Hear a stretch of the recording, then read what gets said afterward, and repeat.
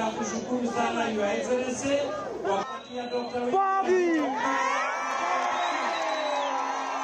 Sisi tukisikiza maneno ya ile grupu ya kitendawili, wanasema ati wao watashinda kura kwa sababu watasaidiwa na Rais Uhuru Kenyatta. Hakuna yule anasema watapita kura kwa sababu wananchi watawapigia kura. Na Uhuru Kenyatta ana kura ngapi?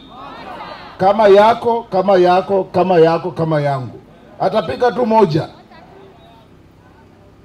Tena wanaongeza wao, kazi yao ni vita na sisi, matusi na matusi na matusi.